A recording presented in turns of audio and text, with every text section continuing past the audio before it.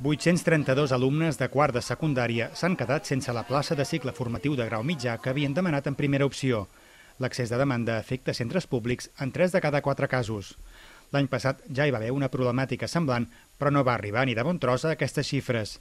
Fa uns anys ja es va ampliar l'oferta de secundària obligatòria per l'augment de natalitat dels anys 2000, però el Departament d'Educació no va fer el mateix amb els cicles formatius. El problema no és només local, sinó generalitzat a tot el país.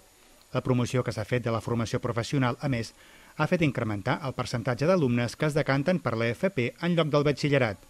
La postobligatòria ha quedat més en un segon pla, malgrat la voluntat d'orientar més i millor que hem fet amb la Fira Terrassa Tria Futur, amb el Terrassa Orienta, precisament per prestigiar l'FP i perquè tothom tingui eh, una sortida i continuï estudiant als 16 anys. És a dir, aquesta, aquesta part sí que l'hem fet. Eh?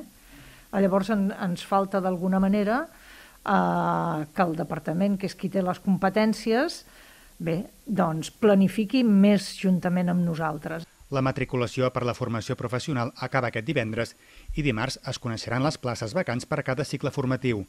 La xifra de 832 baixarà substancialment perquè molts alumnes que no han entrat als estudis en primera opció es matricularan en d'altres que van posar la preinscripció.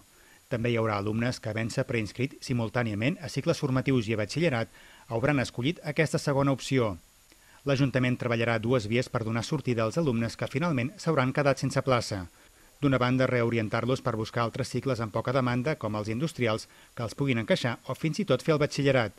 De l'altra, desdoblar alguns grups, sempre que siguin d'estudis amb un futur professional esperançador hi ha alguns nois o noies que tenen molt clar el que volen fer i no volen saber de res més d'altres coses, però n'hi ha molts que no, perquè això ho veus en els instituts també. N'hi ha que comencen fent un batxillerat i el segon trimestre han canviat de batxillerat, eh? perquè bueno, als 16 anys no és tan senzill tenir-ho tot tan clar.